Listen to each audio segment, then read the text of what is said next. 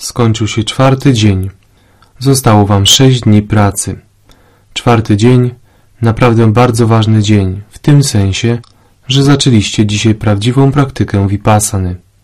Przez pierwsze trzy dni przygotowywaliście się, aby wejść w obszar vipassany, w obszar pania. Wszystkie z tych pozostałych sześciu dni są bardzo ważne, ponieważ pilnie pracując umocnicie się w technice. Jest ona jedyna w swoim rodzaju. Istnieje wiele technik medytacji, ale ta jest unikalna. Można zacząć medytację od kontemplacji czegoś, fragmentu świętej księgi, słów mędrców albo świętych. Kiedy nieprzerwanie kontemplujecie, kontemplujecie, wasz umysł się koncentruje. To dobrze, to pomaga. Albo zaczynacie werbalizować, mentalnie powtarzać czyjeś imię, jakieś słowo, robicie tak w kółko i wasz umysł się koncentruje. To wam pomaga. Albo zaczynacie wizualizować jakiś wyobrażony kształt lub formę jakiegoś Boga czy bogini, tej czy innej świętej osoby. I nieustannie wyobrażacie sobie, wyobrażacie sobie ten kształt czy formę i wasz umysł się koncentruje. Dobrze, to pomaga. Kiedy koncentrujecie umysł, zauważacie, że na powierzchniowym poziomie umysłu zaczyna zachodzić zmiana, o ile motywacja koncentracji jest właściwa. Ale zmiana zachodzi tylko na powierzchni umysłu. W bardzo głębokich, pochłaniających samadhi koncentracja może pozwolić na lekką penetrację, ale nie pozwoli na dotarcie do głębi umysłu. To, co w zachodniej psychologii jest nazywane świadomym umysłem, czyli powierzchnia umysłu, pracuje, kiedy medytujecie używając werbalizacji, wizualizacji lub wyobraźni. Nie dotyka głębi umysłu, a wszystkie nasze problemy leżą w głębi umysłu, na poziomie korzeni. Nasze zakłócenia, zanieczyszczenia mają swoje korzenie bardzo głęboko. Tam głęboko istnieje obficie zaopatrzony magazyn. Możecie usunąć jakieś zanieczyszczenie, odcinając czubek gałęzi, możecie nawet uciąć jego pień, ale korzeń pozostanie. A dopóki pozostaje korzeń, zanieczyszczenie znowu może wykiełkować. Wykiełkuje i znowu urośnie. Nie będziecie uwolnieni od tego zanieczyszczenia. Na tym polegało oświecenie Gottamy. Stał się oświeconym, stał się Buddą, ponieważ zdał sobie sprawę, że jeśli nie usunie się korzeni zanieczyszczeń, jeśli się ich całkowicie nie wyrwie, to nie można osiągnąć oświecenia. Znalazł sposób na ich usunięcie. Pracował nad tym, osiągnął wyzwolenie, a potem z ogromnym współczuciem, miłością, dobrą wolą zaczął tę wiedzę rozpowszechniać. Mamy wiele szczęścia, że mamy tę samą technikę. Dzisiaj większość z Was uczyniła pierwszy krok na ścieżce Vipassany. Większość z Was po raz pierwszy zanurzyła się w gangesie Dammy wewnątrz Was, w gangesie rzeczywistości. Inaczej mówiąc, od chwili Waszych narodzin patrzyliście otwartymi oczami na świat zewnętrzny. Patrzyliście na zewnątrz, na zewnątrz. Przez cały ten czas wszystkie zewnętrzne rzeczy były dla Was o wiele ważniejsze, dominowały. Nie dbaliście o to, aby dowiedzieć się, co się dzieje wewnątrz. Nawet jeśli próbowaliście medytować z zamkniętymi oczami, nadal pracowaliście z zewnętrznymi przedmiotami, z rzeczami, które przeczytaliście, które usłyszeliście, które widzieliście. Kontemplowaliście to wszystko. Nie próbowaliście obserwować rzeczywistości takiej, jaką ona jest. Ta rzeczywistość, taka jaką jest, w obrębie waszego ciała nieustannie się zmienia. Nie ma nic stałego, na czym moglibyście niezmiennie utrzymywać uwagę. Wiedza o tym, że wszystko się zmienia, jest bardzo pomocna. Teraz stajecie się tego świadomi w obrębie swojego ciała. To jest to, co Buddha w języku tamtych czasów nazywał Nityam Kayagata Sati. Sati to świadomość. Wasza świadomość powinna być niczam przez cały czas w obrębie waszego ciała. Zaczęliście uczyć się, jak utrzymywać uwagę w obrębie ciała. Uwagę skupioną na rzeczywistości, która przejawia się z chwili na chwilę, z momentu na moment. Później, kiedy nabierzecie wprawy w technice, kiedy się w niej rozwiniecie i umocnicie, później, również w waszym codziennym życiu, cokolwiek będziecie robili, nie zatracicie kontaktu z rzeczywistością wewnątrz i przekonacie się, że wasz umysł pozostanie bardzo zrównoważony. W każdej sytuacji pozostanie harmonijny i spokojny. Na razie na tym etapie musicie nauczyć się być świadomym rzeczywistości wewnątrz ciała, na poziomie doświadczalnym. W języku Buddy, w języku Indii w tamtych czasach używano słowa Vejdana. Vejdana znaczy doświadczenie, odczucie, doznanie. Wy nie kontemplujecie, nie wyobrażacie sobie, nie intelektualizujecie. Wy autentycznie doświadczacie, naprawdę czujecie doznania. To jest Vejdana. To jest to, co zaczęliście robić, czuć rzeczywistość od stóp do głowy, od stóp do głowy. Tej podstawy nie można zagubić. Musicie utrzymać świadomość tego doznania w obrębie ciała. Właśnie zrobiliście pierwszy krok. Jest kilka pytań dotyczących tej techniki, które zwykle przychodzą uczciom do głowy. Pytania te mogły pojawić się również w waszych umysłach. Zajmijmy się nimi teraz. Jedno z pytań, które się stale pojawia brzmi Dlaczego powinienem przesuwać uwagę od głowy do stóp? Nawet jeśli skupiam uwagę w jednym miejscu, czuję, że coś dzieje się w innych miejscach. Dlaczego więc należy ją przesuwać? To ma być obserwacja bez wybierania, obserwacja bez wysiłku. Mam pozwolić rzeczom dziać się i tylko je obserwować. Dlaczego zatem mam wkładać wysiłek w przesuwanie uwagi? Dobre pytanie. Musicie zrozumieć, dlaczego należy przesuwać uwagę. To nie po to, żeby uczynić zadość jakiejś tradycji. To ma swój cel. Jeśli nie będziecie przesuwać uwagi, wówczas ona sama skieruje się do tej części ciała, w której poczujecie jakieś silne, intensywne doznanie. Nagle coś innego zacznie się dziać gdzie indziej i uwaga pobiegnie w drugie miejsce. Będziecie przesuwać uwagę z jednej części ciała do drugiej, odbierając jedynie silne, intensywne doznania. Pozostałe miejsca będą omijane.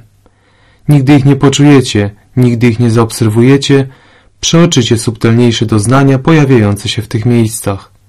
Wasz umysł pozostanie na poziomie łatwo wyczuwalnym. Będzie w stanie poczuć tylko silne doznania. Nie wyćwiczycie go w odczuwaniu subtelniejszych doznań, tych, które są w innych częściach ciała, ponieważ będziecie pracować tylko z intensywnymi doznaniami. Przesuwanie uwagi jest bardzo ważne, dlatego że podążając tą ścieżką napotkacie na niej ważne etapy. Trzeba przejść przez te etapy. Jeden z tych etapów, ważnych etapów, polega na tym, że musicie osiągnąć stan, w którym będziecie odczuwać doznania w całym ciele. W każdej części ciała jest jakieś doznanie. W każdej najmniejszej części ciała zawsze istnieje jakieś doznanie. Dopóki istnieje życie i wszędzie tam, gdzie jest życie, będzie też doznanie. Musicie rozwinąć wrażliwość umysłu, ostrość waszego umysłu. Jeśli tego będzie brakowało, nie będziecie w stanie odczuwać doznań w całym ciele. Przeoczycie ważny etap. Właśnie dlatego musicie stale przesuwać uwagę. Następne pytanie, które się pojawia. Mamy przesuwać uwagę. Zgoda, przesuwamy. Ale dlaczego w jakimś porządku? I dlaczego w tym konkretnym porządku? Ten konkretny porządek nie jest konieczny. Jeśli ta kolejność Wam nie odpowiada i wolicie inną, proszę bardzo. Możecie przesuwać uwagę w dowolnej kolejności, tylko utrzymajcie tę kolejność, ponieważ jeśli nie będziecie przesuwali uwagi w określonym porządku, zawsze w tym samym porządku, nie będziecie wiedzieli, czy być może nie przeoczyliście jakiejś części ciała. A tak jak mówiłem, nie chcemy, żebyście ominęli jakąkolwiek część ciała. Poruszajcie się w określonym porządku. To bardzo ważne. Inne praktyczne pytanie. Kiedy przesuwam uwagę w określonym porządku i jestem akurat w jakiejś części ciała, nagle w innej, którą już mam za sobą, pojawia się bardzo silne doznanie. Albo zaczyna się coś dziać tam, dokąd jeszcze nie dotarłem. Czy mam tam przeskoczyć uwagą? O nie, nigdy tego nie róbcie. Wówczas znowu będziecie biegać od jednego silnego doznania do drugiego silnego doznania, z jednej części ciała na drugą, bez żadnego porządku. Ominiecie wiele części ciała i przeoczycie subtelniejsze doznania. Nie będziecie mogli wytrenować umysłu do odczuwania bardzo subtelnych doznań, co jest bardzo ważną częścią tej techniki. Widziałem osoby pracujące na wyrywki, całymi latami obserwujące silne doznania. Po latach praktykowania nie osiągnęli etapu, na którym mogli poczuć wszystkie rodzaje doznań, w szczególności te subtelniejsze, subtelniejszą rzeczywistość. Cała struktura fizyczna składa się z kalapa, maleńkich subatomowych cząsteczek. Każda taka subatomowa cząsteczka to nic innego tylko fale, fale. Cała fizyczna struktura to nic innego tylko fale, fale, wibracje, wibracje, wibracje. W świecie materialnym nie ma żadnej trwałości, stałości. Wszystko to tylko fale, fale, fale. Tak twierdzą współcześni naukowcy, tak twierdzi współczesna nauka. Buddha powiedział to samo. Istnieje spalanie i wibracja. Cały wszechświat to spalanie i wibracja. Doświadczył tego i swoje doświadczenie wyraził słowami. Naukowiec rozumie to tylko na poziomie intelektualnym. Nie występujemy przeciwko współczesnej nauce ani współczesnym naukowcom. Odgrywają swoją rolę w służbie ludzkości. Ale jeśli chcecie zrozumieć prawo natury na głębszym poziomie, musicie bezpośrednio doświadczyć natury tego prawa, natury prawa natury. To może nastąpić tylko wtedy, kiedy będziecie czuć całość wszystkiego, co dzieje się w obrębie waszego ciała. Pracując tylko z silnymi, intensywnymi doznaniami, nie zrozumiecie prawa natury na głębszym poziomie. Dlatego konieczne jest, abyście przesuwali swoją uwagę w określonym porządku. Dotarliście do pewnego miejsca, a jakieś bardzo silne doznanie zaczyna się w miejscu, które już opuściliście. Część waszego umysłu będzie dorejestrować, ale przesuwajcie uwagę dalej w ustalonej kolejności. Przy następnej rundzie, kiedy dotrzecie do tego miejsca, a to doznanie dalej tam będzie, zaobserwujcie je. Jeśli minęło, to minęło. Pracujcie dalej zgodnie z ustaloną kolejnością. Zgodnie z kolejnością. Następne pytanie, które się często pojawia. Ile czasu powinno zająć przejście od głowy do stóp? Nie ma na to wyznaczonego czasu. To jest ścieżka środka. Na tym etapie nie powinniście ani pędzić tak bardzo, żeby w trakcie jednego oddechu przelecieć od głowy do stóp, przeoczycie wtedy wiele rzeczy, ani nie powinniście się wlec i badać precyzyjnie punkcik po punkciku. Zabrałoby to całe godziny. Wasz umysł by się znudził, znużył i nie bylibyście w stanie pracować. Powiedzmy, że około 10 minut na jedną rundę w zupełności wystarczy, albo trochę dłużej, to nie ma znaczenia. Inne pytanie. Jak duży obszar naraz? Początkowo, kiedy zaczynacie pracować, 5 do 7 cm, 5 do 7 cm w zupełności wystarczy. Ale czasami umysł jest bardzo przytępiony, czasami jest bardzo wyostrzony, a czasem ogarnia go takie otępienie, że nic nie czujecie. Umysł jest taki toporny, a doznania tak subtelne, że nie możecie ich wyczuć. W takim przypadku obejmujcie uwagą duże powierzchnie, całą głowę, całą twarz, całą klatkę piersiową, cały brzuch. I przesuwajcie się po takich większych obszarach. Poczujecie gdzieś jakieś doznanie? Dobrze. Przesuwajcie uwagę, przesuwajcie, przesuwajcie, a pomału przekonacie się, że wyczuwacie doznania wszędzie. Dotrzecie do takiego etapu, na którym będziecie czuć doznania wszędzie. Poczujecie je na najmniejszym skrawku ciała. Musicie pracować bardzo cierpliwie. Bardzo cierpliwie. Następne często zadawane pytanie. Czy powinniśmy czuć doznania tylko na powierzchni ciała, czy także wewnątrz? Na tym etapie, kiedy dopiero zaczynacie pracę według tej techniki, lepiej jest pracować na powierzchni. W ciągu tych dziesięciu dni większość z Was może osiągnąć poziom, na którym będzie w stanie pójść głębiej i penetrować, przenikać do głębi. Będziecie czuli doznania wszędzie, na zewnątrz, wewnątrz, na zewnątrz, wewnątrz, ale nie teraz. Najpierw pozwólcie, by umysł się wzmocnił, wyostrzył na tyle, aby mógł poczuć rzeczywistość na poziomie powierzchniowym. Oczywiście w niektórych przypadkach coś takiego dzieje się naturalnie. Uczeń przychodzi i mówi, że poczuł coś w środku. To nic złego. Jeśli coś się dzieje naturalnie, to niech się dzieje, ale na tym etapie skupcie się na pracy na powierzchni ciała. Jedna rzecz powinna być bardzo jasna. Co to jest doznanie? Jeśli słowo doznanie nie jest dla Was jasne, to będziecie czegoś szukać i pozostaniecie zdezorientowani. To jest bardzo proste. Zrozumcie, stale to powtarzam. Cokolwiek czujecie na poziomie fizycznym, jest to doznanie. Cokolwiek czujecie na poziomie ciała, jest doznaniem. Powiedzmy, że czujecie gorąco. Gorąco jest doznaniem. Pocicie się. Pocenie się jest doznaniem. Czujecie rwanie, pulsowanie, wibrowanie, mrowienie, ciężkość, drętwienie. Wszystko, co czujecie na poziomie fizycznym, jest doznaniem. Czasami pojawia się trudność, kiedy pomimo stale powtarzanych wyjaśnień, ktoś nie chce zrozumieć, co to jest i bez przerwy czegoś szuka. Często są przypadki, kiedy uczeń mówi nie, nie mam żadnych doznań. Na przykład jutro, kiedy wasz nauczyciel asystent będzie z wami rozmawiał i zapyta Wyczuwasz jakieś doznania? Ktoś z was być może odpowie: Nie, żadnych doznań, żadnych doznań. Wtedy on czy ona zada następne pytanie: A czy mogłeś siedzieć całą godzinę bez zmieniania pozycji? O nie, musiałem zmieniać pozycję wiele razy. Dlaczego? Bo czułem silny ból. Był silny ból, ale nie było żadnych doznań. Nie może być silniejszego doznania niż ból. A jednak uczeń mówi: Nie czuję żadnych doznań, ponieważ czegoś szuka. Szuka czegoś specjalnego, doznania rozkoszy, ekstazy. A, cudownie. Przyjechałem na medytację, żeby doświadczyć błogości. Po co mi ból? Mam obserwować ból? Nie przyjechałem tu, żeby doświadczać bólu. Ból to ja mam już w życiu. Niby dlaczego miałbym przyjeżdżać tu, bo ból? Czegoś szukacie. To duży kłopot. Zdarza się to nawet w czasie anapany. Na drugi albo trzeci dzień, kiedy pada pytanie czujesz jakieś doznanie w okolicy nosa? Ktoś odpowiada nie, żadnych doznań. I jednocześnie drapie się po nosie. Hej, a to co? Coś mi tu zaswędziało. Dla tej osoby swędzenie nie jest doznaniem. Ona szuka czegoś innego.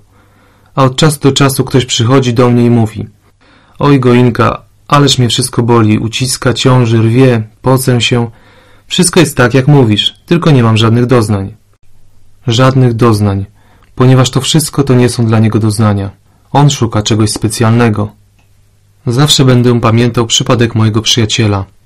Kilkadziesiąt lat temu, kiedy ja sam po raz pierwszy pojechałem na kurs taki jak ten, na początku było mi bardzo trudno. Drugiego dnia spakowałem się i chciałem uciekać. O, to nie dla mnie. Wywodzę się ze środowiska biznesmenów, ludzi o sprytnych, przebiegłych umysłach. Ta technika jest dla ludzi szczerych, takich jak nauczyciele, profesorowie i im podobni, dla uczciwych ludzi. Ja tu sobie nie poradzę.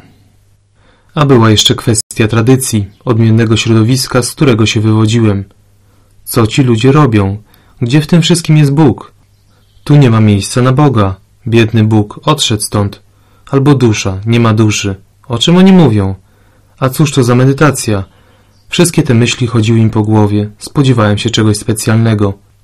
Drugiego dnia chciałem stamtąd uciec. Jestem bardzo wdzięczny pewnej kobiecie, która też uczestniczyła w kursie. Była taka miła. Powiedziała, zostań jeszcze choć jeden dzień. Wspaniale ci idzie. Pierwszego dnia miałem doznanie w okolicy nosa. Tylko obserwuj, nic więcej. Właśnie tego chce od ciebie nauczyciel. Pracuj dalej. Zostałem. Jestem jej bardzo wdzięczny. W przeciwnym razie ominęłaby mnie w życiu taka wspaniała rzecz. A kiedy kurs się już skończy, każdy, kto rzeczywiście coś na nim skorzystał, nie może się powstrzymać, żeby nie powiedzieć o tym innym. Ach, to było takie wspaniałe. Chcę o tym powiedzieć rodzinie, przyjaciołom. Proszę, jedź i sam zobacz, to wielkie dobrodziejstwo. Ty też spróbuj. To jest takie dobre. Przyniosło mi tyle dobrego. Ty też na tym skorzystasz. Sporo osób zaczęło brać udział w tych kursach. Jeden z moich przyjaciół był bardzo bogatym człowiekiem, przemysłowcem, biznesmenem. Bardzo bogaty, przemysłowiec oraz biznesmen. To wystarczające referencje, aby powiedzieć o nim bardzo nieszczęśliwa osoba, bardzo nieszczęśliwa osoba. Rzecz nie w tym, że handel czy przemysł to coś złego, ale chodzi o sposób, w jaki się je prowadzi. Jeśli jest to wyścig szczurów tylko po to, żeby zdobywać pieniądze, pieniądze, pieniądze, to takie szaleństwo przysparza wiele cierpienia. Poznałem to nieszczęście, ponieważ sam przez to przeszedłem i grałem w tę grę. Jednak zacząłem się od niego wyzwalać, więc powiedziałem przyjacielowi, ty też spróbuj. Nie chciał się zgodzić. Och, ty pojechałeś na kurs, bo cierpiałeś na migreny. Ja nie mam migren. Dlaczego miałbym jechać? Cierpiał na jeszcze gorsze migreny niż ja. Wiedziałem o tym. A mimo to nie chciał pojechać. Zajęło mi półtora roku, żeby go namówić. Spróbuj, przynajmniej spróbuj. Przyjechał. Przez dwa, trzy dni jakoś pracował. Czwartego dnia zaczęła się vipassana. A piątego dnia nauczyciel zwykle obchodzi cele. Każdy idealny ośrodek medytacyjny musi mieć indywidualne cele dla każdego medytującego. W tamtym ośrodku były cele i nauczyciel odwiedzał każdą z nich, udzielając uczniom wskazówek. Jeśli wśród uczniów byli Hindusi, którzy nie znali dobrze birmańskiego, nauczyciel zabierał mnie ze sobą jako tłumacza. Poszliśmy więc do celi, w której medytował mój przyjaciel. Nauczyciel zapukał do drzwi, przyjaciel otworzył i pierwsze pytanie, które zadaliśmy brzmiało Jakie doznania? On odpowiedział Żadnych doznań. Żadnych doznań. A widzieliśmy przecież, że zdjął koszulę, podkoszulek, podwinął doti i cały jest zlany potem.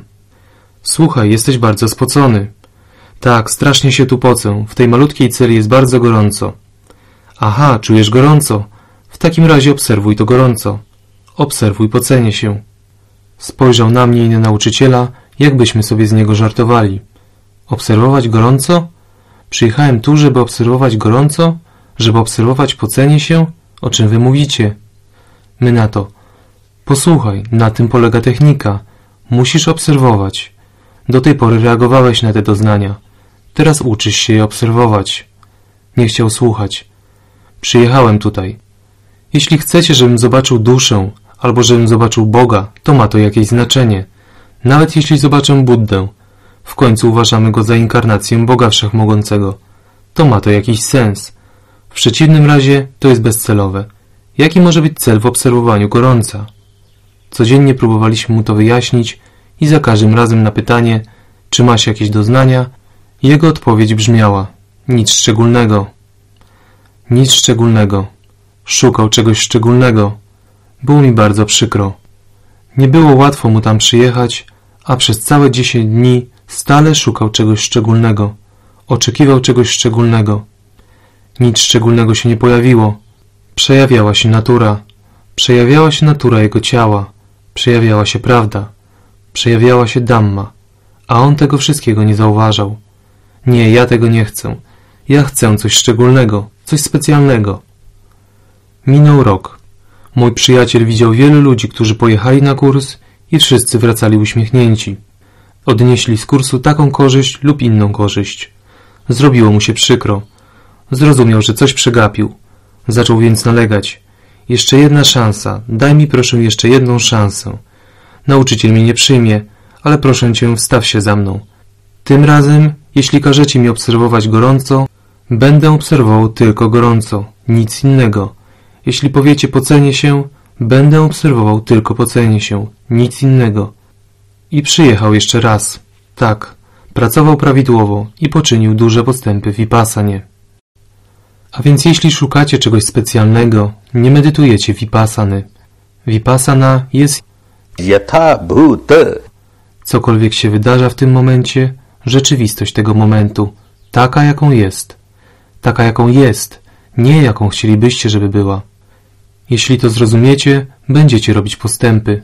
Stale będziecie robić postępy, nie będzie żadnych trudności. Ale jeśli będziecie ignorować tę rzeczywistość, która się przejawia, i jeśli będziecie szukać czegoś, czego tam nie ma, to nie będzie to vipassana. A więc pamiętajcie, cokolwiek czujecie na poziomie ciała, na poziomie fizycznym, cokolwiek czujecie, to jest doznanie. Przyjemne czy nieprzyjemne, intensywne czy słabe, jakiekolwiek, po prostu obserwujcie. Tylko obserwujcie. Tylko obserwujcie. Wtedy robicie, co do was należy, a resztę zostawcie dammie. Resztę zostawcie naturze. Niech się dzieje wola Twoja. Wy zrobiliście swoje. Rezultaty zaczną się pojawiać. Wędrujecie od głowy do stóp, od głowy do stóp. Może się tak zdarzyć, że nie będziecie czuli żadnych doznań. Na jakiejś części ciała nie będzie żadnych doznań. Dla was nie będzie żadnych doznań. Dla was jest to ślepy obszar, martwy obszar. W rzeczywistości nie ma ślepych obszarów, martwych obszarów. Doznania są wszędzie. Ale ponieważ wasz umysł jest bardzo toporny, a pojawiające się w danym miejscu doznanie bardzo subtelne, umysł nie jest w stanie go poczuć. A więc twierdzicie, że nie macie doznań. Niech będzie, nie macie doznań. Taka jest rzeczywistość tego momentu. Żadnych doznań w tym miejscu. Zostańcie w tym miejscu. Pozostańcie tam spokojnie, cicho, uważnie i ze zrównoważonym umysłem. To bardzo ważne. Ze zrównoważonym, spokojnym umysłem. Jeśli nie będziecie spokojni i zrównoważeni, technika wam nie pomoże. Na przykład, kiedy natkniecie się na taki ślepy obszar, bez żadnych doznań, jeśli pozostaniecie tam przez minutę i zaczniecie pragnąć. Ja chcę czuć jakieś doznanie. Ja chcę doznanie. Zostaliście tam jedną minutę i żadnego doznania, a przy następnej rundzie znowu żadnego doznania. Ja chcę doznanie, ja chcę doznanie, coś podobnego pięć razy i żadnych doznań, dziesięć razy i żadnych doznań. Pragniecie, pragniecie, pragniecie. Kiedy zaczynacie pragnąć, tracicie równowagę umysłu, a kiedy umysł traci równowagę, staje się bardzo toporny. Nie może odczuwać doznań, które są bardzo subtelne. Dlatego zachowajcie spokój i równowagę umysłu. Nawet jeśli nie pragniecie, może się u Was pojawić niechęć. Martwica tej części ciała ciągle nie mija. Jedna runda i nie minęła, pięć rund i wciąż nie minęła. Czujecie niechęć, niechęć do tego martwego rejonu. To znowu jest utrata spokoju i równowagi umysłu. Pozostańcie zrównoważeni. Po prostu zaakceptujcie rzeczywistość taką, jaką ona jest. W tej chwili akurat nie doświadczam żadnego doznania w tym obszarze. Zrobiłem, co do mnie należało. Nie ma doznania, żadnego doznania. Zobaczymy, co się dalej wydarzy. Ale jeśli jest to przykryta część ciała, spróbujcie poczuć dotknięcie materiału. To też jest doznanie, chociaż bardzo powierzchowne. To nie szkodzi. Poczujcie dotknięcie materiału i idźcie dalej. Jeśli jest to odkryta część ciała, wtedy poczujcie dotknięcie powietrza. To też jest powierzchowne, ale poczujcie dotknięcie powietrza i idźcie dalej. Pracujcie w ten sposób bardzo cierpliwie, bardzo cierpliwie. Wkrótce dojdziecie do etapu, na którym będziecie odczuwali doznania wszędzie. Są dwa aspekty tej techniki. Jeden to rozwinąć zdolność, wrażliwość umysłu tak, żeby czuć doznania wszelkiego rodzaju, wszędzie. Drugi to nauczyć się obserwować je obiektywnie, obiektywnie. Próbujcie nie reagować. Uczycie się tej techniki po to, żeby zmienić nawykową reakcję umysłu na najgłębszym poziomie. Ten najgłębszy poziom umysłu, który jest nazywany nieświadomym umysłem, w rzeczywistości wcale nie jest nieświadomy. Przez cały czas, dniem i nocą, czuje doznania. Doświadcza doznań w ciele. Stale czuje doznania wszelkiego typu, wszelkiego rodzaju doznania, cokolwiek się pojawia z chwili na chwilę i stale na nie reaguje. Jeśli doznanie jest przyjemne, będzie reagował pragnieniem, uporczywie będzie się tego pragnienia trzymał. Jeśli doznanie jest nieprzyjemne, będzie reagował niechęcią, nienawiścią. Taki jest schemat zachowania, nawykowa reakcja najgłębszego, nieświadomego umysłu. Cały czas pragnie, nienawidzi, pożąda, nienawidzi, pożąda, nienawidzi. Po to, żeby zmienić to nawykowe reagowanie, musicie dotrzeć do poziomu, na którym ten schemat zachowania istnieje. To znaczy do najgłębszego poziomu umysłu, tam, gdzie czujecie doznania. Nie pragniecie, nie nienawidzicie, tylko obserwujecie. I zaczynacie rozumieć. Spójrzcie, to się zmienia. To się zmienia, przemija. W miarę jak będziecie nad tym pracować, stale nad tym pracować, rzeczywistość natury będzie się stawała coraz jaśniejsza, coraz oczywistsza. Prawo natury zacznie się samo objawiać. To prawo jest prawem obowiązującym wszędzie, na zewnątrz i wewnątrz. Cały wszechświat, ożywiony i nieożywiony, jest rządzony przez to samo prawo. Możecie próbować zrozumieć to prawo na poziomie intelektualnym, kiedy widzicie to, co dzieje się na zewnątrz, ale nie możecie go doświadczyć. Możecie go doświadczyć tylko wtedy, kiedy czujecie to, co dzieje się w obrębie własnego ciała. Wtedy doświadczacie tego prawa i wtedy staje się ono bardzo oczywiste. W tej kwestii musi być pełna jasność, nie może być żadnych wątpliwości. To właśnie zrobił Gautama Buddha. Urodził się w królewskiej rodzinie jako książę. Był to szczególny przypadek, ponieważ choć był księciem, nie przyszedł na świat w królewskim pałacu. Urodził się pod drzewem, na świeżym powietrzu, pod gołym niebem. Kiedy miał pięć czy sześć lat, zdarzyło się, że siedział pod drzewem.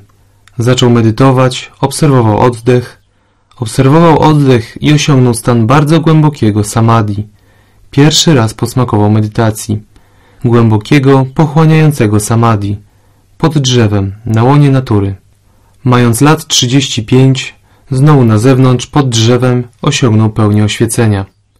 Następnie powodowany współczuciem zaczął uczyć ludzi tej techniki. Zaczął obracać koło dammy. Swoje pierwsze kazanie wygłosił pod drzewem, na świeżym powietrzu, pod gołym niebem. W dojrzałym wieku lat osiemdziesięciu odszedł pod drzewem, na powietrzu, pod gołym niebem. Wszystkie najważniejsze wydarzenia jego życia działy się pod drzewem, na łonie przyrody, pod gołym niebem. Przestudiował naturę tak dogłębnie. Ale samo dogłębne studiowanie natury zewnętrznej nie uczyni nikogo Buddą, nie doprowadzi do oświecenia. Dopiero badanie wewnętrznej natury na poziomie doświadczalnym uczyniło go Buddą. To, czego nauczał, nityang kayagata sati. Przez cały czas musicie być świadomi rzeczywistości w obrębie swojego ciała. To jest vipassana. Jeśli się to praktykuje, całe prawo staje się takie jasne, takie oczywiste na doświadczalnym poziomie. Jedna rzecz, która staje się oczywista dla ucznia vipassany, to zmiana, zmiana. W każdym momencie w obrębie ciała zachodzi jakaś zmiana, taka czy inna zmiana. Doświadczacie tego. Na zewnątrz dzieje się to samo. Obowiązuje to samo prawo. Wszystko się zmienia, zmienia, nieustannie zmienia, nieustannie zmienia, jakby wszystko topiło się w tyglu. Wszystko jest cały czas w tyglu i nie ma żadnego końcowego produktu, który stałby się niezmienny. Wszystko, co istnieje, ożywione czy nieożywione, jest w tym kipiącym tyglu. Zmienia się, zmienia, zmienia, wszystko płynie, wszystko płynie. Ta rzeczywistość objawia się w doświadczaniu swojego ciała, w obrębie własnego ciała. Inna prawda o rzeczywistości. Cokolwiek się dzieje, nie dzieje się przypadkowo. Wszystko, co się dzieje, ma jakąś, taką czy inną przyczynę. Jedna przyczyna albo kilka przyczyn razem powodują określony skutek. Przyczyna, skutek, przyczyna, skutek. A konkretny skutek staje się przyczyną czegoś następnego. Skutek, przyczyna, przyczyna, skutek, skutek, przyczyna. W ten sposób kręci się cały wszechświat. Kręci się, obraca, płynie. Przyczyna, skutek, skutek, przyczyna, przyczyna, skutek. Staje się to bardzo jasne na poziomie doświadczenia. Kolejna prawda o rzeczywistości, która stanie się bardzo jasna. Jaka przyczyna, taki skutek. Jaka była przyczyna, taki będzie skutek. Jakie było nasionko, taki będzie owoc. W świecie roślin jest to oczywiste. Wewnątrz też zaczynamy doświadczać tego samego prawa. Na zewnątrz sieją dwa nasiona. Jedno to nasionko trzciny cukrowej, a drugie to nasionko drzewa nim, bardzo gorzkiego drzewa rosnącego w krajach tropikalnych. Oba dostają to samo pożywienie, ta sama gleba, ta sama woda, to samo powietrze, to samo słońce. Oba wykiełkowały i zaczęły rosnąć. I co się dzieje? Co się dzieje z trzciną cukrową? Każde jej włókienko jest takie słodkie, takie słodkie, a drzewo nim, każde jego włókno jest takie gorzkie, takie gorzkie. Dlaczego natura jest tak łaskawa dla jednych, a tak okrutna dla innych? Ktoś inny mógłby powiedzieć, że to Bóg Wszechmogący. Dlaczego Bóg jest tak łaskawy dla jednych, a okrutny dla innych? Nikt tu nie jest ani łaskawy, ani okrutny. Nie. Takie jest niezmienne prawo natury. Natura daje tylko pożywienie i pomaga nasieniu przejawić jego właściwość. Właściwością nasienia trzciny cukrowej jest słodycz, słodycz i przejawia się ona w każdym włóknie. Cechą nasienia nim jest gorycz. Ta gorycz przejawia się w każdym włóknie. Takie jest prawo natury. Prawo natury. Urosło wielkie drzewo nim. Podchodzę do niego, kłaniam się trzy razy, robię 108 rund, ofiarowuję kwiaty, kadzidła, słodycze i tak dalej. I ze łzami w oczach zaczynam się modlić. O wielki Boże nim, daj mi proszę słodkie owoce mango. Ja chcę słodkie mango, daj mi je proszę. Płaczecie tak cały rok, całe życie, bez rezultatu. Wciąż dostajecie tylko gorzkie nim. Nie możecie dostać słodkich mango. Jeśli naprawdę chcecie słodkie mango, to musicie bardzo uważać przy sianiu nasion. Jeśli posiejecie nasionko słodkiego mango, to wyrośnie wyłącznie słodkie mango. Nasz problem polega na tym, że siejąc jesteśmy bardzo beztroscy. Tacy nieuważni, nieświadomi, bezmyślni. Wszędzie rozsiewamy gorzkie nasiona, gorzkie nasiona. A kiedy nadchodzi czas żniw, czas zbierania plonów, wtedy o, ja chcę tylko słodkie owoce, słodkie owoce. Niemożliwe. Oczekuję, że przydarzy mi się coś dobrego. Pomimo, że siałem gorzkie nasiona, dostanę słodkie owoce. Jakaś niewidzialna moc mi pomoże. Bóg Wszechmogący mi pomoże. A dlaczego Bóg Wszechmogący wam pomoże? A dlaczego nie innym? Ponieważ go wychwalacie. Próbujecie zjednać go sobie pochlebstwami, a on jest z tego powodu bardzo dumny i szczęśliwy. Pomoże wam, a nie pomoże innym. Szaleństwo. Im prędzej ochłonie się z tego szaleństwa, im wcześniej zacznie się postępować zgodnie z prawem natury, otrzymam tylko takie owoce, jakich nasiona posiałem, dlatego przy sianiu muszę być bardzo ostrożny, tym wcześniej wejdzie się na ścieżkę prowadzącą do wyzwolenia. W przeciwnym razie dalej będziecie pogrążeni w niewiedzy, Będziecie pogrążeni w ignorancji, stale będziecie oszukiwali samych siebie, łudzili samych siebie i pogrążali się w ignorancji. W ten sposób nie można uwolnić się od cierpienia. Prawo natury to prawo natury, jest uniwersalne i każdy mu podlega. Jakie jest nasienie, taki będzie owoc. Jakie jest wasze działanie, taki będzie rezultat. Jakiego rodzaju było działanie, takiego rodzaju na pewno będzie rezultat. Pewne wydarzenie z czasów Buddy. Pewnego dnia przyszedł do niego młody człowiek, płacząc, gorzko płacząc. Co ci się stało? On dalej płacze. Co się stało? Panie, wczoraj umarł mój ojciec. No cóż, jeśli umarł, to umarł. Twój płacz nie przywróci go do życia. Płacz na nic się nie zda. Po co tu płakać? Panie, przyszedłem do ciebie ze specjalną prośbą. Jaką specjalną prośbą? Panie, proszę, zrób coś dla mojego ojca, mojego zmarłego ojca. Co mogę zrobić dla twojego zmarłego ojca? Panie, możesz zrobić tak wiele. Jesteś tak potężny, jesteś wielkim człowiekiem. Bo spójrz, ci zwykli kapłani, oni odprawiają różne rytuały i ceremonie, a kiedy je odprawiają, człowiek dostaje wizę wjazdową do nieba. A ty, panie, jeśli ty odprawisz jakieś obrzędy albo rytuały dla mojego ojca, to mój ojciec dostanie nie tylko wizę wjazdową do nieba, ale dostanie tam kartę stałego pobytu, dostanie zieloną kartę w niebie. Proszę, panie, zrób coś dla mojego ojca. Szalony człowiek.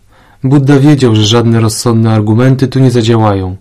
Młody człowiek był w tym momencie pod wpływem silnych emocji. Buddha miał swój sposób objaśnienia rzeczy. Powiedział: No dobrze, idź. Idź na targ i kup dwa gliniane garnki. Młodzieniec był uszczęśliwiony. Buddha odprawi jakąś ceremonię dla mojego ojca. Kupił dwa gliniane garnki. Napełnij jeden masłem. Nazywamy takie masło gi. Napełnij drugi kamieniami, małymi kamykami. Zrobił to. Przykryj je przykrywkami i dobrze uszczelnij. Zrobił to. Teraz umieść oba garnki w stawie, który jest tu niedaleko. Umieścił je. Ponieważ były ciężkie, oba poszły na dno. Przynieś duży, mocny kij, uderz w garnki, rozbij je, żeby się otworzyły. Młody człowiek rozbił garnki, był bardzo szczęśliwy. Buddha odprawia wspaniały rytuał, ceremonię dla mojego ojca.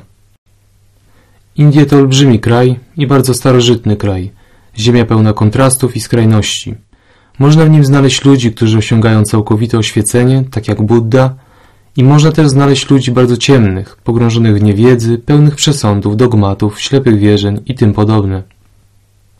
Jest takie wierzenie, że kiedy umrze ojciec albo matka, syn zabiera ciało zmarłego na stos pogrzebowy i pali je. Kiedy ciało jest już w połowie spalone, syn bierze ciężki kij i uderza w czaszkę, żeby ją rozbić. Według tego wierzenia, kiedy czaszka jest rozbita, otwiera się brama do nieba i zmarły może wejść do nieba. Teraz, kiedy mój ojciec nie żyje, a jego ciało zostało wczoraj spalone, Buddha chce, żebym rozbił te garnki jako symbol. Zrobił to. Z garnka wypełnionego masłem wypłynęło masło i zaczęło unosić się na powierzchni wody. Kamyki z drugiego garnka zostały na dnie. Na tym, powiedział Buddha, kończy się moja rola. Teraz zawołaj wszystkich swoich kapłanów. Niech tu przyjdą i modlą się. O, kamienie, wypłyńcie, wypłyńcie na powierzchnię, wypłyńcie na powierzchnię. O, masło, idź na dno, idź na dno, idź na dno. Zobaczymy, czy to się stanie. Co takiego? Panie, żartujesz sobie, jak to możliwe? To niemożliwe, panie. To jest niezgodne z prawem natury. Kamyki są cięższe od wody i na pewno pozostaną na dnie. Nie mogą się unosić na powierzchni wody, panie. A masło jest lżejsze od wody. Na pewno pozostanie na powierzchni, nie pójdzie na dno. Młody człowieku, tak dobrze znasz prawo natury, a jednak nie chcesz zrozumieć, że stosuje się ono do każdego. Jeśli twój ojciec stale popełniał uczynki, które są jak kamienie, to z pewnością poszedł w dół. Któż jest w stanie wynieść go na powierzchnię? Jeśli twój ojciec stale popełniał uczynki, które są lekkie jak masło, z pewnością pójdzie w górę i nikt go za nogi w dół nie ściągnie. Nie próbujemy zrozumieć, na czym polegają nasze kłopoty. Próbujemy oprzeć się na kimś, polegać na kimś. Jakaś niewidzialna moc zrobi coś dla mnie. Jakaś niewidzialna moc zrobi coś dla mnie. Ale nic nie robimy, żeby zmienić nasze nawykowe zachowania, nasze własne działanie. I dlatego stale jesteśmy pogrążeni w cierpieniu. Cierpienie za cierpieniem, cierpienie za cierpieniem. Im wcześniej zrozumiecie to prawo natury, tym wcześniej zaczniecie żyć życiem zgodnym z tym prawem, tym wcześniej zaczniecie pozbywać się niewiedzy, uwalniać od cierpienia i zaczniecie cieszyć się dobrym życiem. Kiedy już ktoś zgodzi się z tym, że muszę bardzo uważać na moje działania, uczynki, to pojawia się pytanie, co to jest działanie, uczynek? Co to za działanie, które przynosi owoce? Są trzy rodzaje działań. Działanie fizyczne, czyli uczynki, działanie głosem, czyli mowa oraz działanie mentalne, czyli myśli. Wszyscy powszechnie uważają, że działanie fizyczne jest bardzo ważne. Mowa jest mniej ważna, a myśli nie mają wielkiego znaczenia. Są najmniej ważne. Ale kiedy zacznie się obserwować prawdę wewnątrz, tak jak zrobiła to osoba, która osiągnęła oświecenie, to staje się jasne, że najważniejsze jest działanie mentalne, a nie działanie głosem czy działanie fizyczne. Mowa i uczynki przynoszą swoje określone skutki, ale najważniejsze są myśli. Wszystko ma swój początek w umyśle, następnie nabiera mocy, intensywności i to mentalne działanie zamienia się w działanie głosem. Myśl staje się mową. Kiedy działanie staje się jeszcze bardziej intensywne, silniejsze, mocniejsze, wówczas zamienia się w działanie fizyczne. Mowa i działanie fizyczne to nic innego jak uzewnętrznienie działania mentalnego. Są one jedynie miarą intensywności myśli, działania mentalnego, ale to mentalne działanie jest tym, które jest najważniejsze. Przykład. Widzę kogoś, z kim jestem pokłócony. Kiedy tylko go ujrzę, mój umysł zaczyna pracować. Jest pełen gniewu, pełen gniewu. Rozpoczęło się niedobre działanie mentalne. Staje się ono coraz intensywniejsze, coraz intensywniejsze i w końcu przejawia się poprzez głos. Krzyczę na tego kogoś, obrażam go. Rezultatem jest niewłaściwa mowa, niewłaściwe odezwanie się. Staje się coraz silniejsze, intensywniejsze i zmienia się w niewłaściwe działanie fizyczne. Uderzam go. Jeśli mam broń, strzelam do niego, zabijam go. Niewłaściwe działanie fizyczne. Niedobry czyn. Czym jest ta niedobra mowa? Niedobry czyn. Jest to po prostu uzewnętrznienie myśli, działania mentalnego. Jest to miara intensywności mojego niedobrego myślenia. To samo dotyczy właściwego działania. Widzę kogoś bardzo nieszczęśliwego w nędznym stanie. Mój umysł zaczyna pracować. Współczucie, współczucie. Kiedy staje się ono odpowiednio intensywne, dobre myśli przejawiają się jako mowa. Mówię do tej osoby kilka uprzejmych, miłych, współczujących słów. Dobre działanie na poziomie głosu nabiera intensywności, staje się silniejsze i przejawia się jako działanie fizyczne. Dobry czyn. Pomagam tej osobie fizycznie, daję jej coś. Właściwe działanie fizyczne. Właściwe czy niewłaściwe, wszystkie czyny i mowa są uzewnętrznieniem myśli. Z tego zdał sobie sprawę oświecony. To było jego oświecenie. Umysł ma największe znaczenie. Wszystko zaczyna się w umyśle. Wszystko zaczyna się w umyśle. Umysł poprzedza wszystko inne. Ujął to doświadczenie w słowa, mówiąc Manopabangama dhamma Manoseta manomaya Manopabangama dhamma Umysł poprzedza wszystko inne. Manoseta Dlatego umysł jest najważniejszy. Odgrywa największą rolę. Manomaya Wszystko, czego doświadczasz w swoim życiu, jest jedynie owocem Twego umysłu. Manomaya Manomaya Manasa chepadutene Bhasati va karuti va Jeśli u podłoża jakiegokolwiek czynu lub mowy leży niewłaściwy umysł, nieczysty umysł, zanieczyszczony umysł, to wtedy Tato nang Chakang vavatu padang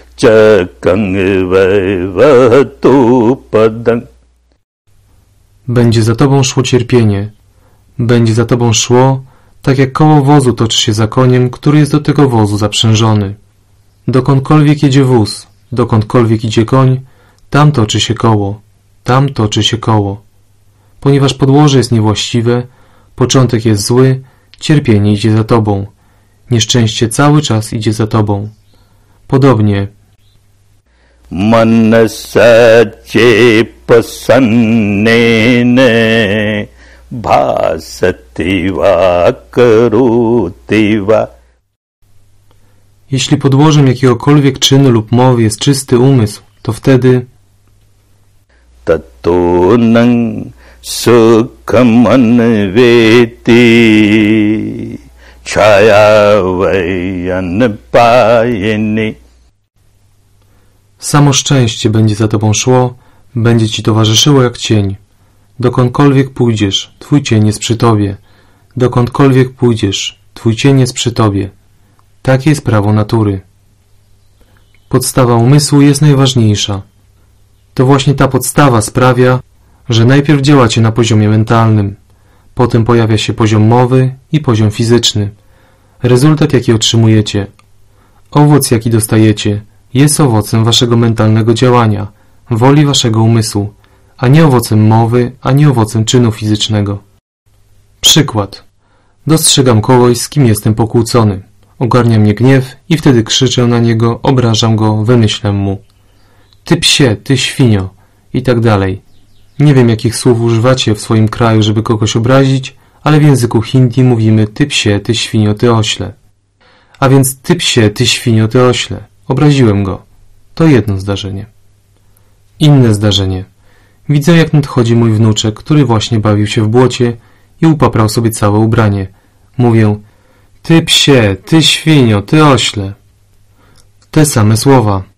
Na poziomie działania głosem użyłem dokładnie tych samych słów. Działanie jest takie samo, ale z punktu widzenia umysłu, zamierzenie umysłu, jego wola w obu sytuacjach jest krańcowo inna. Kiedy używałem tych słów w stosunku do mojego wroga, wola umysłu była pełna wrogości. Kiedy używałem tych słów w stosunku do mojego wnuczka, umysł był pełen dobrej woli. Natura bierze pod uwagę umysł i jego wolę, a nie działanie poprzez mowę. Rezultat, jaki otrzymacie, owoc, jaki dostaniecie, będzie stosowny do woli umysłu. Nie będzie zależał od mowy ani od czynu. Inny przykład. Bardzo bogaty człowiek z mnóstwem pieniędzy, klejnotów itd. podróżuje samotnie przez dżunglę. Z przeciwnej strony nadchodzi bandyta, rabuś. Zauważa, że ten człowiek ma przy sobie mnóstwo pieniędzy i oczywiście chce mu je zabrać. Bogacz nie ma ochoty się z nimi rozstać i mówi nie. Rozgniewany opryszek wyciąga nóż i wbija go w żołądek podróżnego. W rezultacie ten człowiek umiera. To jedno zdarzenie. Inne zdarzenie. Ktoś bardzo poważnie zachorował na bolesne wrzody żołądka. Próbowano różnego rodzaju leczenia, ale nic nie pomogło. Wtedy chirurg mówi, jeśli otworzę żołądek i wytnę bolesny wrzód, może przyniesie to panu ulgę. W porządku, zgadzam się, niech pan kroi. Kładę człowieka na stole w sali operacyjnej. Chirurg bierze nóż, wbije go w żołądek pacjenta i tak się przydarza, że w tym momencie pacjent umiera. Na poziomie fizycznym zarówno lekarz, jak i bandyta zrobili dokładnie to samo. Wzięli noże i wbili je w czyjś żołądek, skutkiem czego umarł człowiek. Ale czy natura albo Bóg Wszechmogący ześlą obydwum te same skutki ich czynu? O nie! Liczy się wola umysłu. Wola umysłu bandyty była pełna wrogości. Umysł lekarza był pełen dobrej woli. Natura bierze pod uwagę motywację umysłu, wolę umysłu. Od tego właśnie zależą owoce. Co jest podstawą umysłu? Podstawa umysłu jest o wiele ważniejsza. Wola umysłu jest ważniejsza niż jakiekolwiek działanie na poziomie fizycznym albo mowa. Musimy być bardzo uważni, jeśli chodzi o nasz umysł i wolę umysłu. Z tego też powodu trzeba zrozumieć, co to jest umysł i jak działa. Vipassana Wam pomoże. Zrozumcie, cała technika polega na tym, żeby rozłożyć na części, rozdzielić, zdezintegrować, rozpuścić całą strukturę fizyczną. W tym celu wystarczy, że będziecie obserwować. Tylko obserwujcie, obserwujcie, obserwujcie. Natura sama rozpocznie to rozdzielanie, rozkładanie, dezintegrowanie, rozdzielanie, rozkładanie, dezintegrowanie, rozpuszczanie. Na początku natkniecie się na bardzo silne, mocne, intensywne doświadczenia w waszym ciele. Potem zaczną się one rozpuszczać, rozpuszczać, rozpuszczać. Osiągniecie etap, na którym nie będzie nic poza swobodnym przepływem bardzo subtelnych wibracji, swobodnym przepływem energii. Bardzo subtelnym, bardzo subtelnym. Podobnie umysł jest rozdzielany, rozkładany, dezintegrowany. Ten, kto osiąga pełne oświecenie, bada całą fizyczną i mentalną strukturę. Rozkładając fizyczną strukturę, dociera do poziomu, na którym najmniejsza subatomowa cząsteczka, którą nazywa osiem elementów złączonych w jedno, nie może być dalej rozłożona. Podobnie jest z umysłem. Rozkładając, rozkładając, rozkładając mentalne treści, rozdzielając i rozkładając, osiąga się poziom, na którym okazuje się, że istnieje 121 rodzajów umysłu i 52 rodzaje treści umysłowych, które są nazywane współistniejącymi, jednocześnie powstającymi treściami umysłu. Każdy umysł pojawia się razem z jakąś, taką czy inną, równolegle powstającą treścią. Na tym etapie, kiedy dopiero zaczęliście przedszkole Vipassany, nie ma potrzeby pamiętać te 52 rodzaje treści umysłowych i 121 typów umysłu. Teraz dowiecie się o czterech głównych częściach umysłu. Możecie zrozumieć, czym są i jak funkcjonują. Będziecie ich doświadczać. Ta wiedza będzie bardzo pomocna. Cztery główne segmenty umysłu. Pierwsza część umysłu w języku tamtych czasów, słowami Buddy, była nazywana Vijnana. Najbliższe tłumaczenie tego słowa to świadomość. Zadaniem pierwszej części umysłu, świadomości, jest zauważyć, powiadomić, przyjąć do wiadomości. Wszystkie sześć narządów zmysłów, które mamy, oczy, uszy, nos, język, ciało i umysł, wszystkie one mają swoje oddzielne winiana. Sześć oddzielnych świadomości. Świadomość wzroku, świadomość słuchu, świadomość węchu, świadomość smaku, świadomość dotyku, świadomość umysłu. Sześć winiana. Coś wchodzi w kontakt z jakimkolwiek narządem zmysłu. Jakiś dźwięk ma kontakt z narządem słuchu, uchem. I w tym momencie pojawi się świadomość uszu. Kształt, kolor, światło wejdzie w kontakt z narządem wzroku, oczami i pojawi się świadomość oczu. Nos zarejestruje jakiś zapach i pojawi się świadomość nosa. Język poczuje jakiś smak i pojawi się świadomość języka. Jakaś rzecz dotknie ciała i pojawi się świadomość ciała. Myśl, emocja wejdzie w kontakt z umysłem i pojawi się świadomość umysłu. Zadaniem tych sześciu świadomości jest zauważyć, że coś się wydarzyło. Świadomość uszu. Uszy odebrały jakiś dźwięk. Pojawiła się świadomość uszu. Uwaga, coś się wydarzyło. Natychmiast uaktywnia się następna część umysłu. W języku tamtych czasów nazywała się sania. Najbliższe tłumaczenie to zrozumienie. Jej zadaniem jest rozpoznać. Ucho zarejestrowało jakiś dźwięk. Pierwsza część umysłu powie tylko coś się wydarzyło w rejonie ucha, coś słychać. I na tym kończy się rola pierwszej części umysłu. Druga część spróbuje rozpoznać, co się wydarzyło, czyli co słychać. Słychać słowa. Jakie słowa? Słowa obelżywe albo słowa pochlebne. Ta część umysłu rozpoznaje. Na podstawie doświadczeń z przeszłości, na podstawie przeszłych uwarunkowań i dzięki pamięci o przeszłości rozpoznaje. I nie tylko rozpoznaje, ale również ocenia. Słowa obelżywe, bardzo niedobrze. Słowa pochlebne, wspaniale. Kiedy tylko druga część umysłu wykona swoją pracę, trzecia część przystępuje do działania. W języku tamtych czasów nazywano ją Vejdana, doznania, doświadczanie doznań w ciele. Jak tylko dokona się ocena, że słowa były przyjemne, pochlebne, zauważycie, że pojawi się przepływ subtelnych, przyjemnych wibracji. Przez ciało przepłynie prąd przyjemnych, subtelnych wibracji, ponieważ ocena słów była pozytywna. To były dobre słowa. Słowa były obelżywe i ocena brzmi bardzo niedobrze. Wtedy czujecie, że przez ciało przepływają bardzo nieprzyjemne doznania. Trzecia część umysłu doświadcza doznań w ciele, przyjemnych, nieprzyjemnych. Natychmiast zaczyna działać czwarta część umysłu. W języku tamtych czasów nazywała się Sankhara. Jej zadaniem jest zareagować. Zapamiętajcie to słowo, będę go używał cały czas przez następne sześć dni. Sankhara. W rzeczywistości jest to motywacja umysłu, reakcja umysłu. Jest to w gruncie rzeczy aktywne działanie. Pierwsza część, zauważenie, nie jest działaniem, nie przyniesie żadnych owoców. Rozpoznanie nie jest działaniem, nie przyniesie owoców. Odczuwanie doznań nie jest działaniem, też nie przyniesie owoców. Ale sankara, reakcja, jest działaniem. Ona przyniesie owoce, ponieważ zaczyna się powtarzanie. Przyjemne słowa spowodowały przyjemne doznania i w rezultacie ta część umysłu ciągle powtarza chcę tego, chcę więcej, chcę więcej.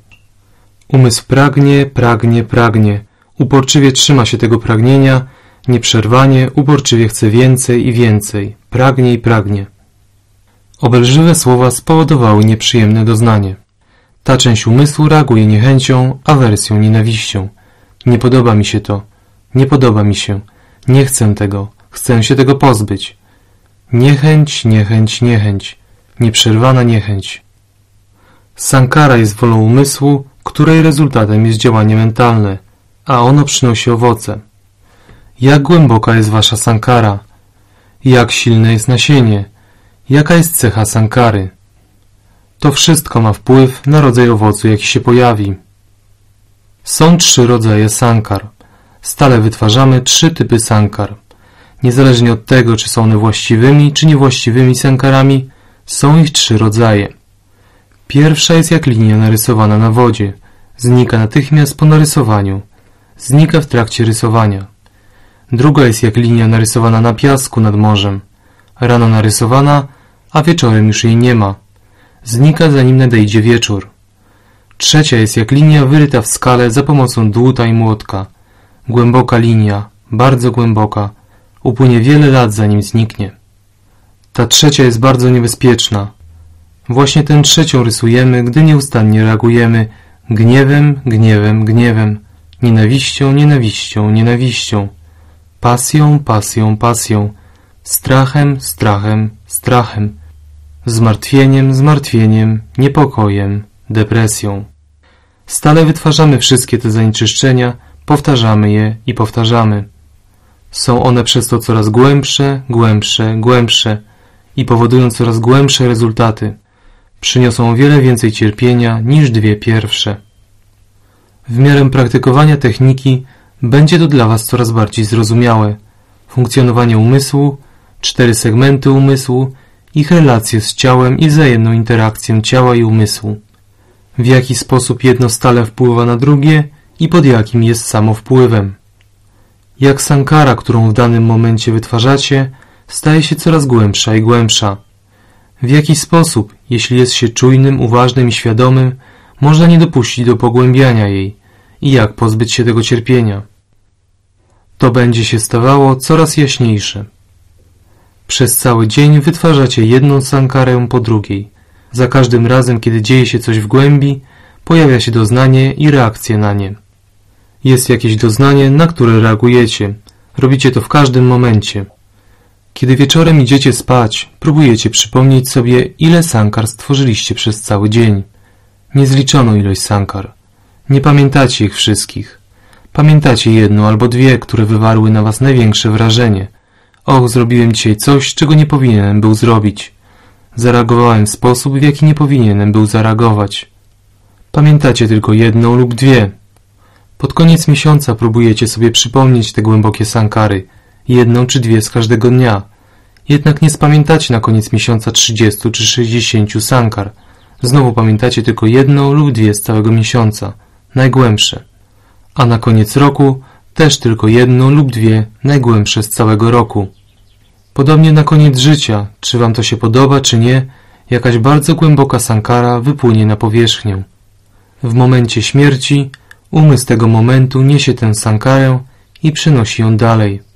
Następny umysł jest dzieckiem tego umysłu.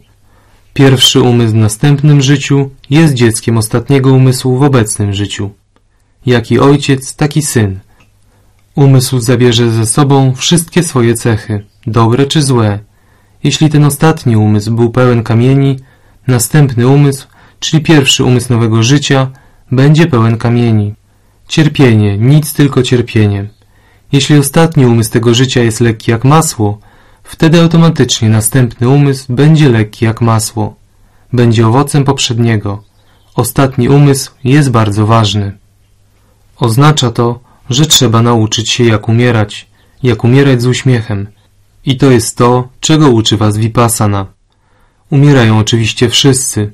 Nawet ci, którzy medytują vipassanę muszą umrzeć. Zauważyliśmy jednak, że ci, którzy umocnili się w praktyce vipassany, choć troszkę się umocnili, kiedy umierają, był tylko jeden trochę wątpliwy przypadek, poza nim wśród setek osób, które już zmarły, ani jedna nie umierała nieświadomie, ani jedna nie umierała w strachu, płacząc.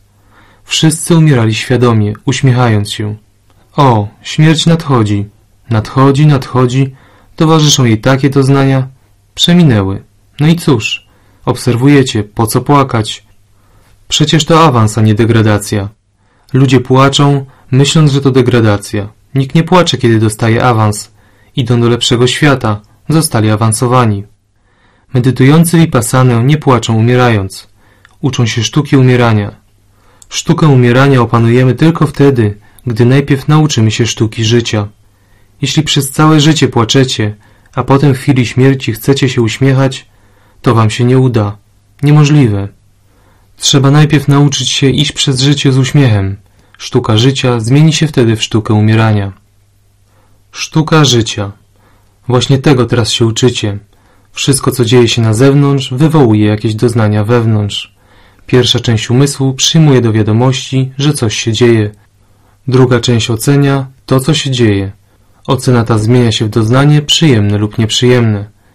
Jeśli wytrenujecie umysł tak, aby nie ulegał wpływom doznań przyjemnych lub nieprzyjemnych, aby nie reagował na przyjemne lub nieprzyjemne doznania, wtedy zmienicie nawykowe reakcje umysłu na najgłębszym poziomie. Nawet jeśli zareagujecie, sankara nie będzie zbyt głęboka, ponieważ nie będziecie jej nieustannie powtarzać. Oprzytomniejecie. Teraz rzecz jasna, dopiero zrobiliście początek. W ciągu godziny, przez większość czasu będziecie powtarzać sankarę.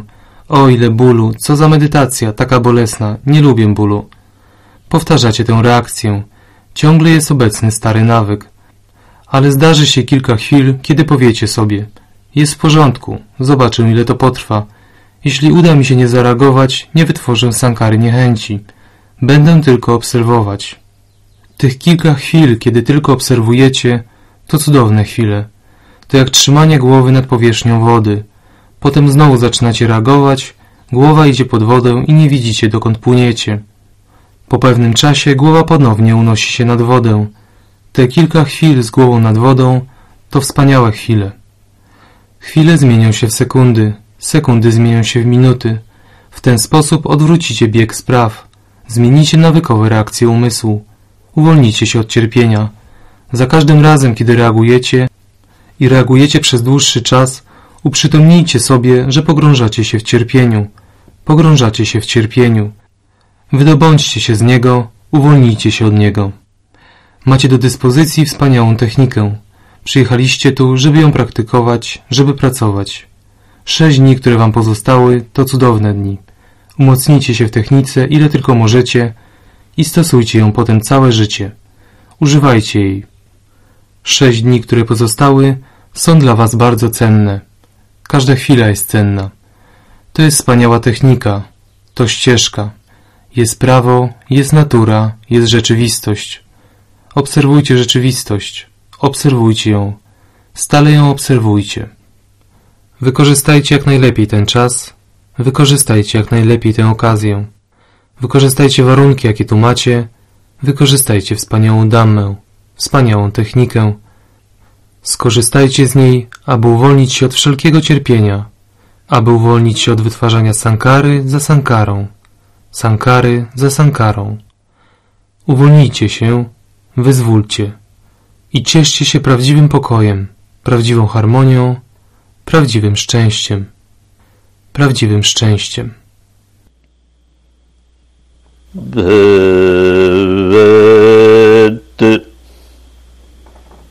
Sewy Ma